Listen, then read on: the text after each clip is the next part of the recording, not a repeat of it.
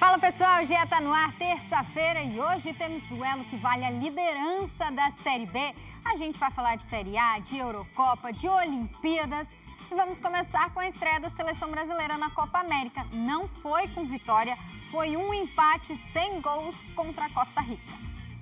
É, vamos estar tá na torcida.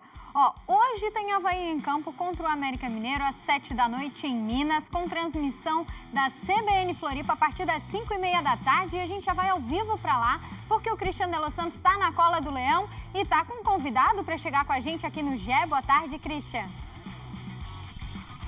Boa tarde, Cacau. Te agradece o Lucas também, lembrando a partir das 5 e meia da tarde na CBN Floripa e a transmissão do jogo com imagens no Sport TV você acompanha.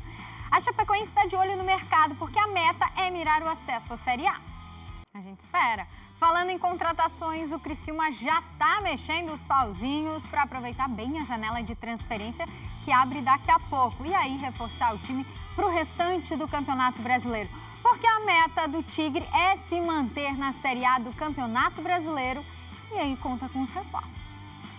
Faltam 31 dias para os Jogos Olímpicos de Paris e hoje a gente vai te contar a história do Pepe Gonçalves. Já é de volta para falarmos de Eurocopa. A Itália garantiu a classificação em um jogo emocionante.